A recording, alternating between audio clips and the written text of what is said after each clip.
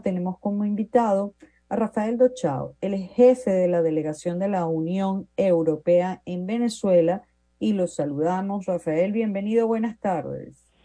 Hola, muy buenas tardes, eh, Maripili, y obviamente a ti y a todos los oyentes que tenemos hoy.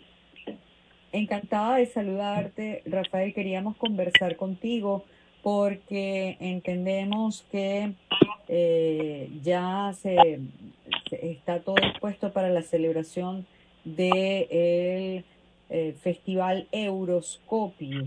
Y quería que nos hablaras, bueno, en primer lugar, de qué se trata este festival y cómo puede hacer la gente para disfrutar.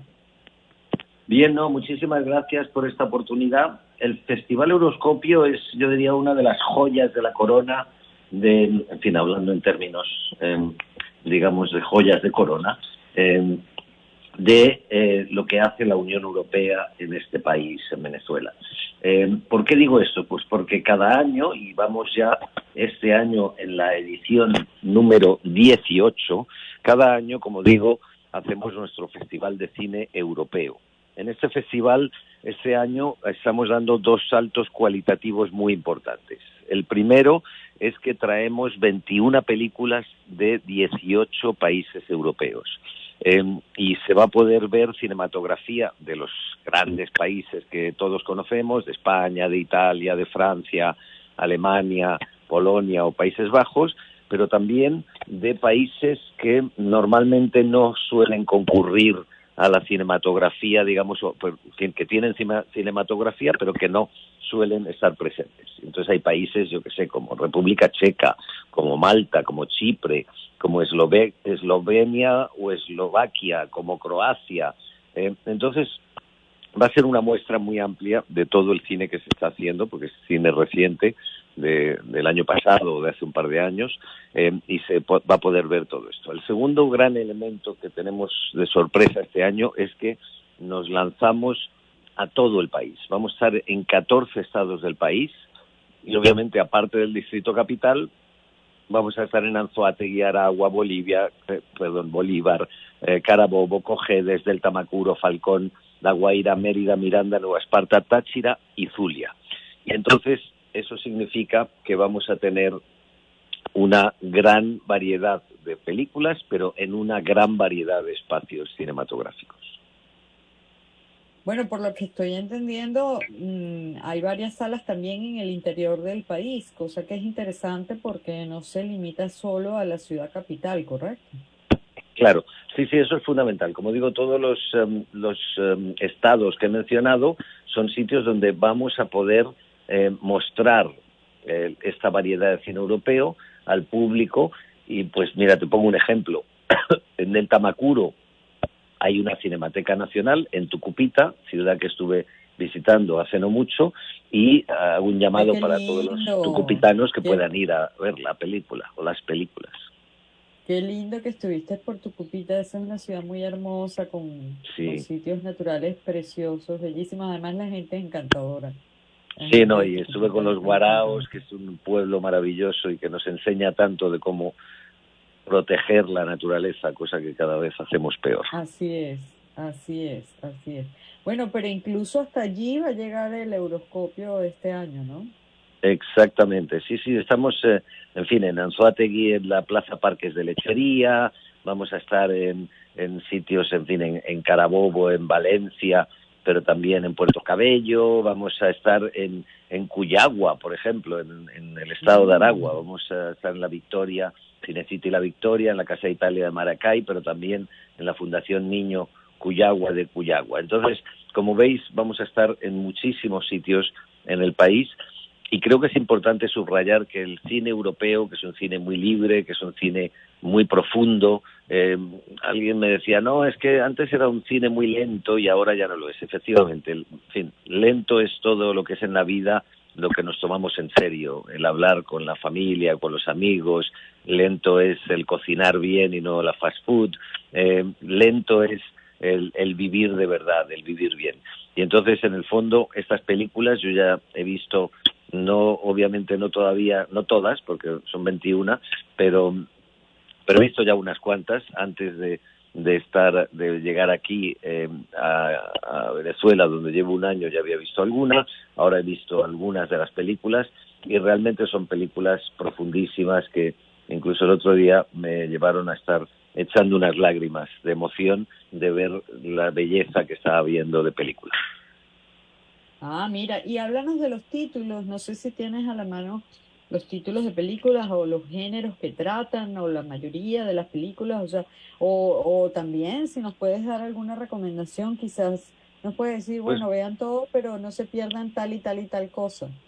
Sí, mira, eh, no, no, gracias de todas formas por poder presentar todo esto. Mira, la, lo primero es que eh, la, para tener la complejidad y la, la gran eh, cantidad de películas que hay, lo mejor es que la gente se dirija a la página web del Euroscopio, que es eh, www.euroscopio.com, y ahí vienen todas las películas, incluso con trailers para poder ver qué películas le apetece a uno ver más que otras, etcétera.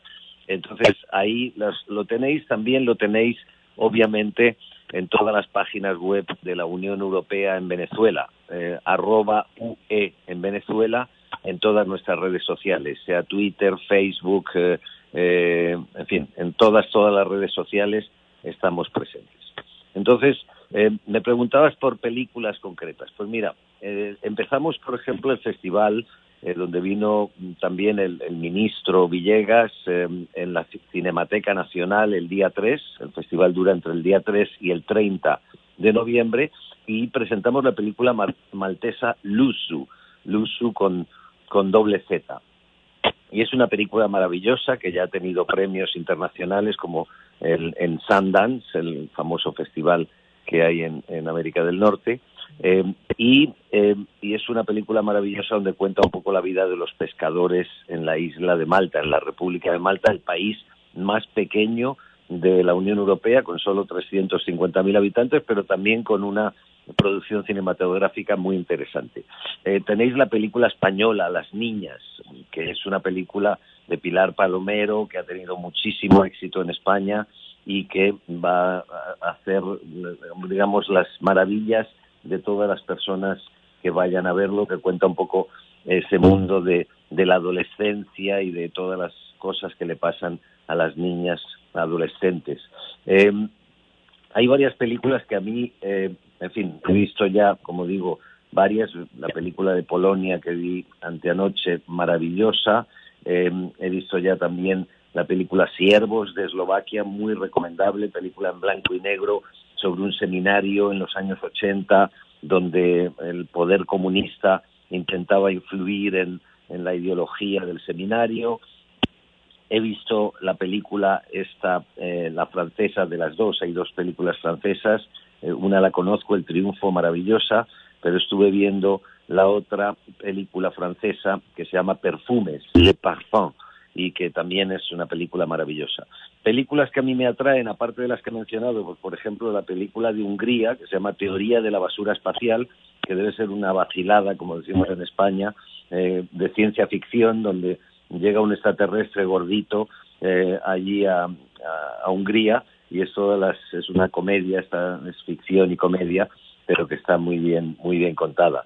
Eh, eh, películas que también me apetece mucho ver, por ejemplo, Los dioses de Molenbeek. Molenbeek es este barrio de Bruselas donde salieron los terroristas que hicieron los atentados de París y de Bruselas hace unos años, y es un barrio donde la mitad de la población es eh, de África del Norte, magrebí, y la otra mitad son, eh, digamos, eh, belgas de allí de toda la vida y es cómo se ve todo el tema este de la religión, es casi un documental entre dos niños de seis años y por eso se habla de los dioses de Molenbeek. Uno es cristiano y otro es musulmán. Eh, pero luego ya te digo, hay películas que prometen mucho. Eh, la película alemana En el Fuego, que tiene una pinta espléndida, la película de Irlanda, Mi novia de mentira, Dating Amber, eh, que es una historia de dos jóvenes homosexuales hombre y mujer, pero uno, ella es lesbiana, él es gay, y entonces deciden convertirse en pareja, por eso lo de mi novia de mentira, para que la gente no les acuse y para que no, en fin, porque el tema de, de, la, de la permisividad o la aceptación LGBTI, incluso en países europeos, esta película refleja una situación de hace unos años no es tan importante. Es decir, a lo que voy es eh, la película portuguesa también fantástica. Hay una película para niños de la República Checa, un país donde se hace grandísimo cine para niños.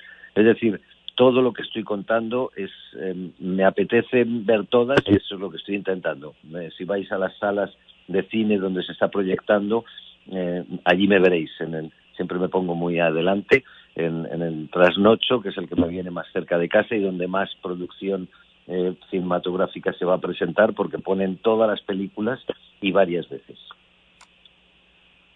Bueno, la verdad que te agradezco muchísimo que, que nos hayas hecho toda esta recomendación. ¿Y eso va a estar de cuándo a cuándo? Eh, ¿Durante qué tiempo va a estar, se van a estar exhibiendo todas estas películas?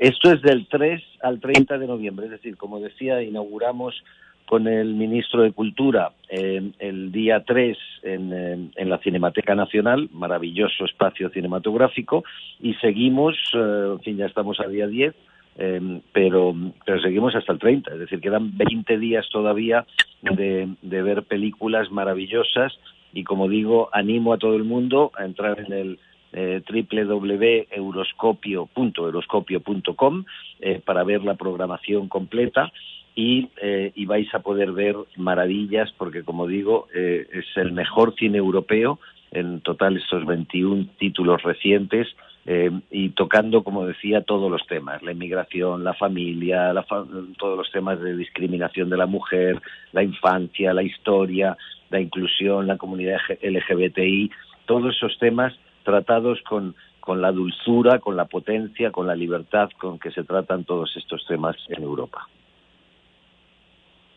Bueno, de verdad que te agradezco, Rafael, que hayas estado con nosotros y que nos hayas brindado toda esta información y nos hayas hecho esta invitación. Muchísimas gracias.